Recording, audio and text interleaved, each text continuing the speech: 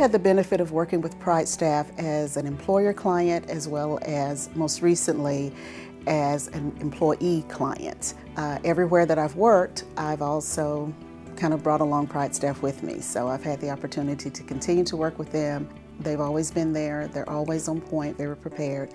They've always provided professional staff.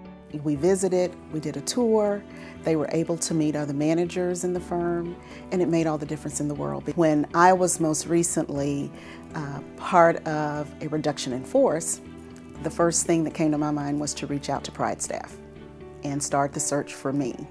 So I then became an associate of PrideStaff opposed to a client. You know, as an HR rep, you look for those things that will help you and benefit your employees, and they provide those things. They've met my needs professionally, and like I said, they have not only, I don't look at them just as professional associates, I look at them as friends.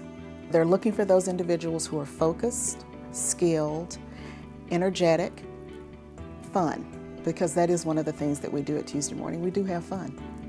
So they have benefited from some of the individuals that PrideStaff has provided, me being one of them.